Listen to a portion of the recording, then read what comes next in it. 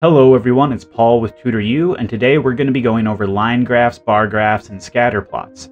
I hope this helps you study for the GED, and if it does, make sure you hit the like, comment, and subscribe, because all of those things help me get this information out there to more people that could use the help. I hope you guys have a beautiful day, enjoy the video, take your time, and study hard. For this first graph, we have what's called a scatter plot. What scatter plots are used for is to show a relationship between two different types of data. In this one, we have hours and percent correct. So this is study time for the GED math test. If you look up there, it has the title. When you look at these graphs, you always want to read the titles and different labels. So what we have is study time for GED math test, percent correct, and oop, over there, the hours. And as you can tell, there is what is called a correlation. So a correlation is the definition of a relationship between two different types of data. What this is showing is a positive correlation. It's moving up from left to right. What you'll most likely run into on the GED when you're looking at any type of graph are questions in regards to, like in this one, they're going to ask you how many hours do you have to study to get a certain type of score. So let's just kind of go through that. How many hours would you have to study to score an 80%? Let's circle the area right around that 80% mark where most of the scatter points are at.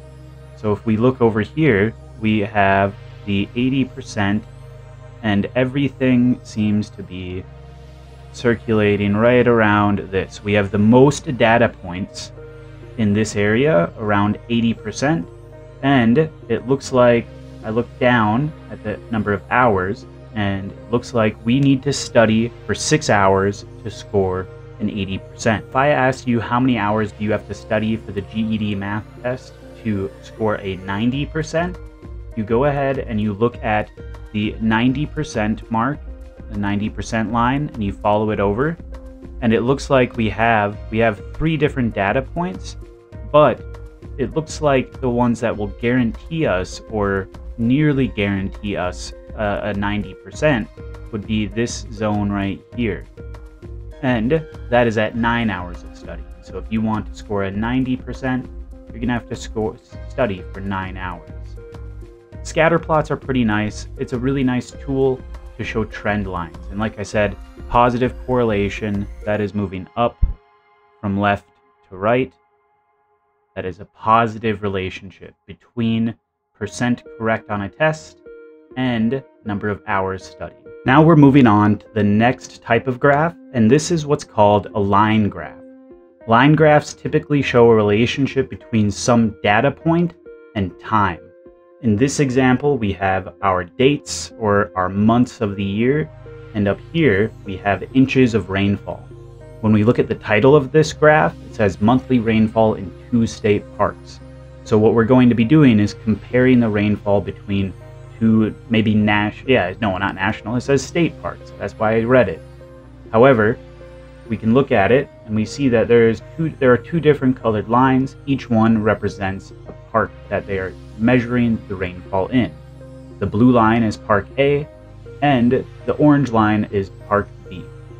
And it goes over the course of six months. Another thing to make a note on is with line graphs, you can have multiple entries of data. So here we have two state parks, but we could have three, four, five different state parks, or we can compare all of the national parks in a line graph. That's why they're so useful, is that you can compare multiple entries to each other. In what month is the biggest difference in rainfall between these two state parks? This is the type of question that you're going to get on the GED. So when we're looking at here, over there, right? It looks like it looks like April. It looks like April has the biggest gap. And we can tell by, you know, if you don't get those lines in between, you can draw them in between. It just looks to me that April is the biggest gap in rainfall between the two state parks. What month has the smallest gap in rainfall between the two state parks? Well, it looks like May. So, let's move on to our last example of a type of graph you might see on the GED. Here we have what's called a bar graph. A bar graph is another tool used to compare two different types of data.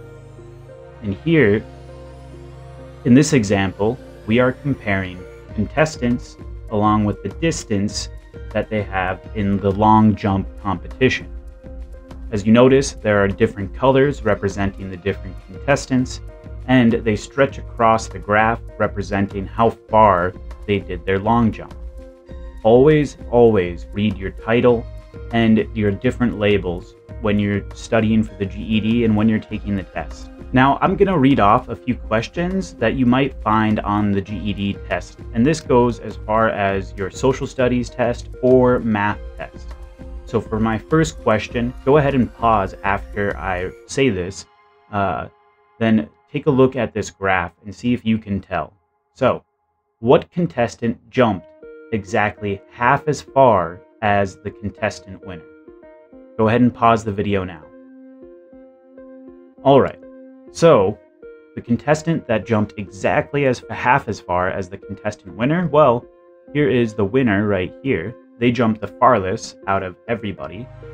And the person that jumped exactly half as far as them is this person, contestant A. So we'll put a circle, or you know what? They get a star. We'll put a star on contestant A's bar graph. For our next question, it is Katie and Elena jumped the exact same distance put a mark on the bar graph of the two contestants, Katie and Elena. Go ahead and pause the video. All right, so that would be, all you have to do is just take a look at the bar graph and find out, or take a look, here, see? We have this person right here and this person right here. They jumped exactly 15, we'll assume feet, unless you are Superman. And that's how we know that this is Katie and Elena. Another type of question you'll find on the GED is just proving that you're reading the question thoroughly.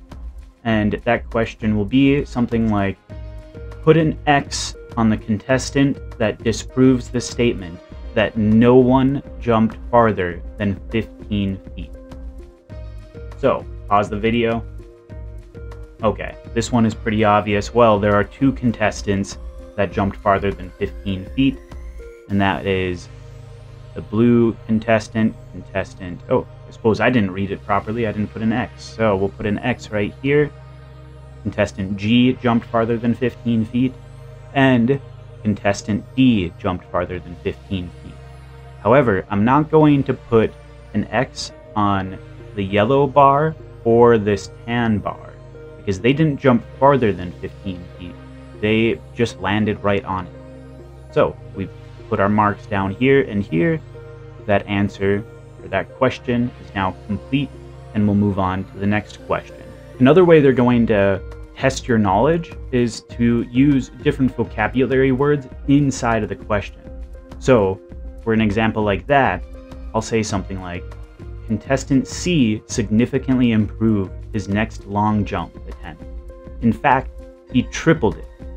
So, go ahead and mark on the graph how far that contestant C has jumped now.